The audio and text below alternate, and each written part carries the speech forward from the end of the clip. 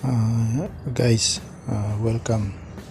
Pakita ko lang sa inyo kung ano yung itsura ng provision room ko sa barko. Yan. Ito yung na-receive kong provision ngayon base sa in-order ko rin sa DFS, mga fresh vegetable. Yan. Nag-order ako ngayon for 3 weeks kasi babiyahe kami ng Norway. So dito ako nag-order kasi mas mahal ang provision doon sa Norway. Hindi kakayanin ng pera namin. Kaya ito yung convenient port para sa provision store. Yan, kung ano-ano, mga gulay, mga pang salad, prutas, yan, mushroom, broccoli, yan, twig, tomatoes. Nakaraan pa namin an, banana, talong, grapes, yan, plum, yan, tomato.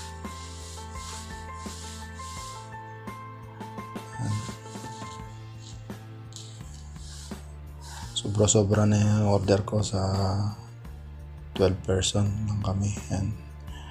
Ah, red radish, sweet potato, butternut uh, squash, uh, fresh uh, herbs, mint, coriander, yan.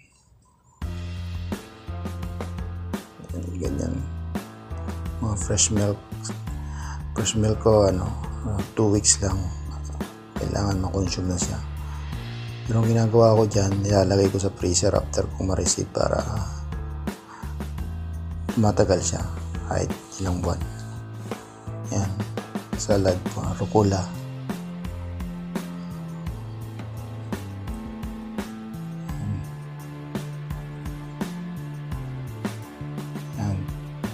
Feta cheese. Ang Greek, Greek salad. Cream. Tea. ah, butter.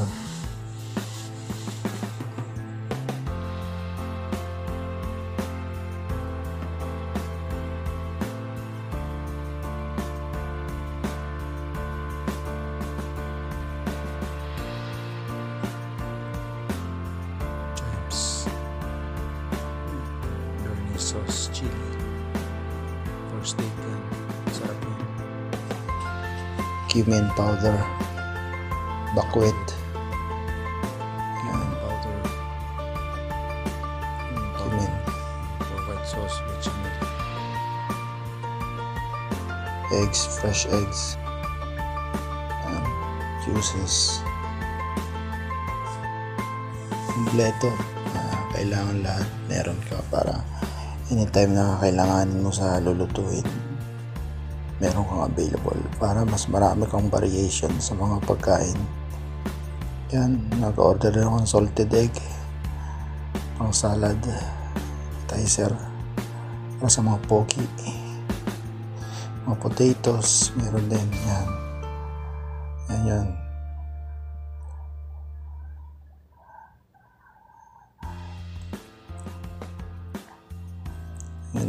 ang kabuuan ng aking freezer at uh, chiller.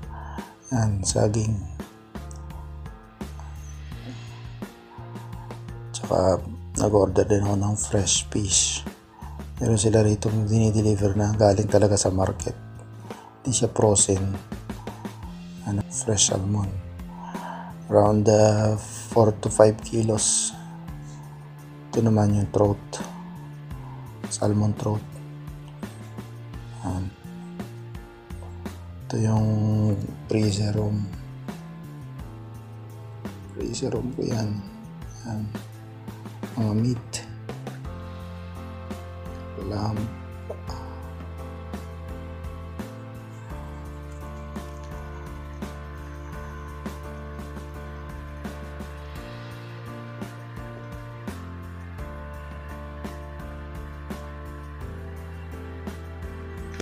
Ayan guys.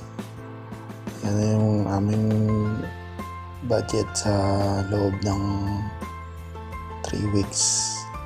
Pagbalik ulit rito sa Gothenburg, Sweden, order ulit ako para dun sa remaining na budget. Yan.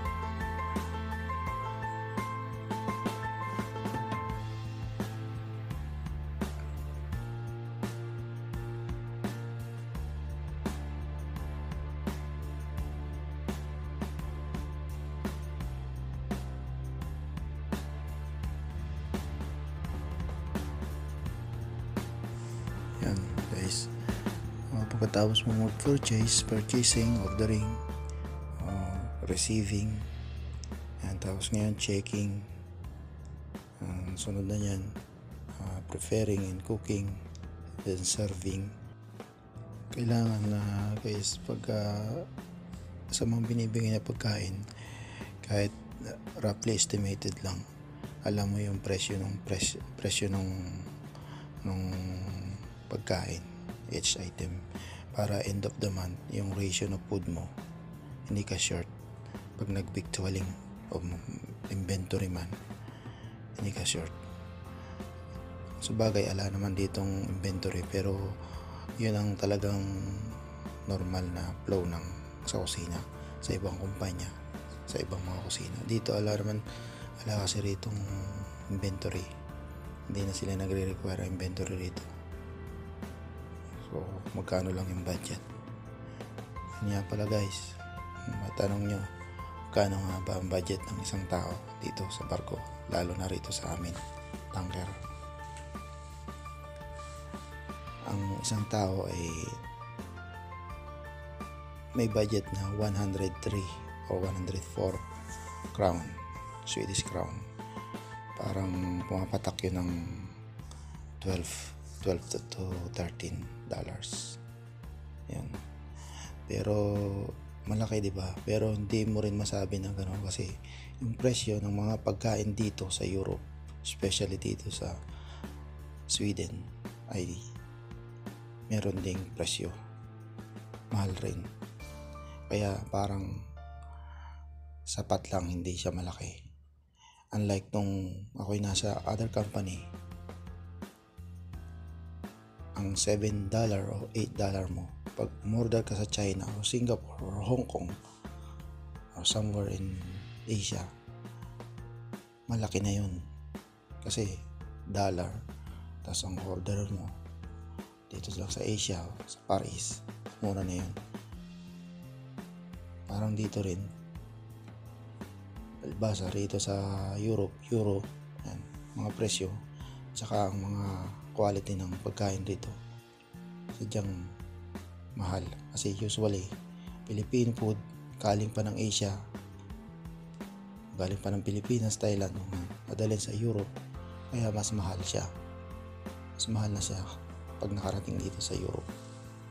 Ano? Kaya, budget-budget din pag may time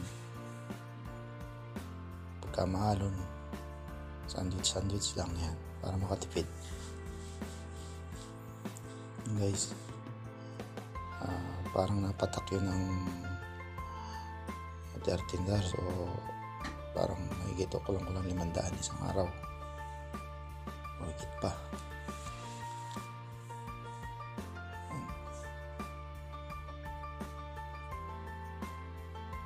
Guys maraming salamat sa panonood nyo eh, ito lang yung nakuha ng kong video kasi busy rin ako. Eh, pasensya na kayo ito lang siguro sa susunod na vlog ko. Papakita ko sa inyo yung mga iba pang nangyayari rito sa kusina ko. Tsaka yung mga kung paano patakboy ng isang nag-iisang crew sa kusina ang buong gali. One man soldier. Parang ganun. Guys salamat and goodbye for now